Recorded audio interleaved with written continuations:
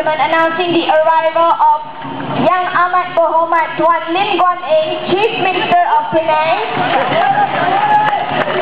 to the Pesta Chinese Lion and Dragon Dance Parade here at Esplanade. 各位来宾，让我们来欢迎滨州首席部长林冠英先生。